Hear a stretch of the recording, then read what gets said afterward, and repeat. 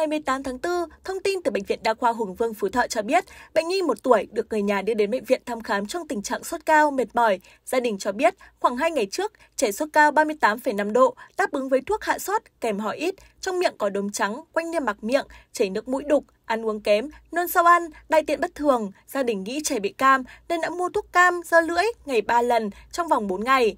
Tuy nhiên, sau 2 ngày, trẻ vẫn sốt và mệt nhiều, quấy không ăn nên gia đình đã đưa trẻ đến bệnh viện để thăm khám.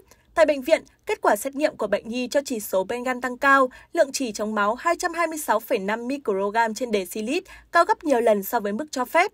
Qua kết quả cận lâm sàng, các bác sĩ chẩn đoán trẻ bị nhiễm chỉ trong máu nặng. Gia đình đã được các bác sĩ tư vấn cụ thể về tình trạng và mức độ nguy hiểm của bệnh nhiễm chỉ trong máu. Các bác sĩ đã liên hệ trực tiếp tới chuyên gia tại Bệnh viện Nhi Trung ương để tiếp nhận điều trị cho bé. Hiện tại, bệnh nhi đang được điều trị tại khoa cấp cứu và chống độc Bệnh viện Nhi Trung ương.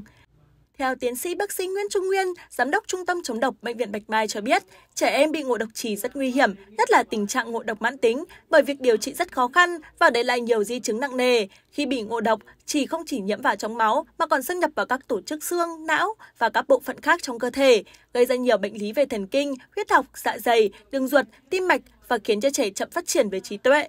Hiện nay, nhiều người có thói quen sử dụng các loại thuốc nam, thuốc cam để điều trị bệnh cho trẻ. Việc sử dụng các loại thuốc không rõ nguồn gốc, không kiểm soát được chất lượng có thể gây ra nhiều hậu quả nặng nề cho sức khỏe của trẻ.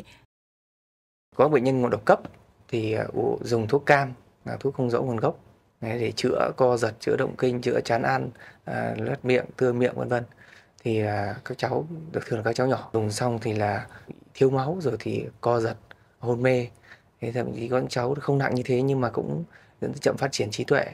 Rồi thì chậm phát triển tinh thần. À, có những cháu bây giờ vẫn trí tuệ mà đến hơn 10 tuổi vẫn như là không được như người trẻ lớp 1 Bác sĩ khuyên cáo, phụ huynh cần phải tuyệt đối không tùy tiện cho con sử dụng các loại thuốc dân gian không rõ nguồn gốc, nên đưa con đến cơ sở y tế để thăm khám khi có dấu hiệu bất thường.